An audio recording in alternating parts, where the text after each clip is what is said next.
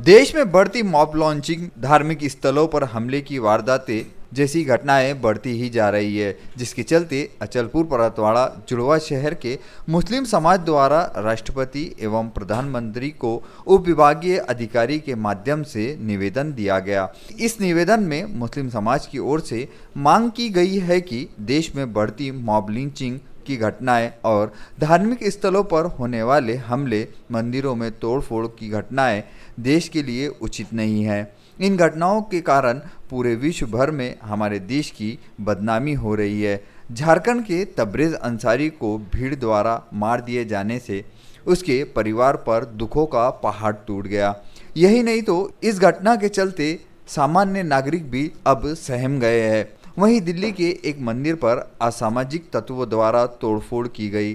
धार्मिक स्थलों को निशाना बनाया जा रहा है। किसी भी धार्मिक स्थल को अपराधियों द्वारा आसानी से निशाना बनाया जा रहा है। मॉब लिंचिंग और तोड़फोड़ की घटनाओं को रोकने, अपराधियों के लिए मकोका जैसे कानून के तहत कार्रवाई की जाए तथा देश में इस घटनाओं को रोकने हेतु कड़ा कानून बनाया जाए। इस प्रकार की मांग को लेकर अचलपुर उप विभागीय अधिकारी के माध्यम से प्रधानमंत्री व राष्ट्रपति को निवेदन दिया गया। उसकी जान ली गई है। तो हम चाहेंगे कि ये दोनों जो भी गुंडा तत्व है, चाहे मंदिर के हो, चाहे तबरेज को मारने वाले हो, इनके ऊपर ऐसा कानून लगाया जाए जिसकी वजह से दूसरे लोगों को इस तरीके का कोई कदम उठाने की हिम्मत ना हो।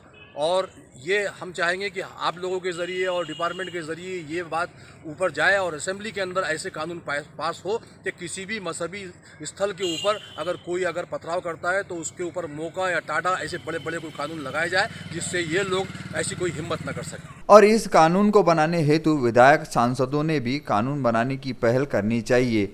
इस प्रकार की मांग भी निवेदन में मुख्य रूप से दर्शाई गई थी। कि जो दिल्ली के अंदर मंदिर के ऊपर कुछ गुंडा तत्व मेंटलिटी के लोगों ने हमला किया, तोड़फोड़ की, उसका हम निषेध करते हैं। और मुस्लिम लोग का जो धर्म है, इस्लाम, इसमें कहीं लिखा नहीं है कि किसी भी धार्मिक स्थल के ऊपर पथराव या किसी तरीके की तोड़फोड़ या किसी तरीके का कोई नुकसान पहुँचाया जाए।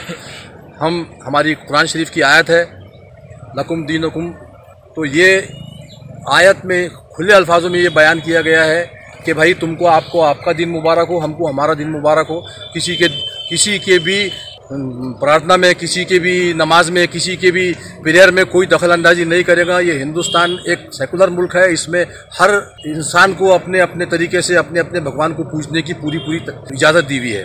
अचलपुर परतवाड़ा जुड़वा शहर के मुस्लिम समुदाय की ओर से निवेदन देते समय शहर के पूर्व नगर अध्यक्ष हाजी मोहम्मद रफीक सेठ, नगर सेवक एहतेशाम नबील, सामाजिक कार्यकर्ता मोहम्मद शब्बीर मोइन चौहान, फिरोज़ खान, इरशाद अहमद, मोहम्मद अजहरुद्दीन, मोहम्मद सईद, मोहम्मद साजिद सईद हज़ारों मुस्लिम बंधु उपस्थित थे।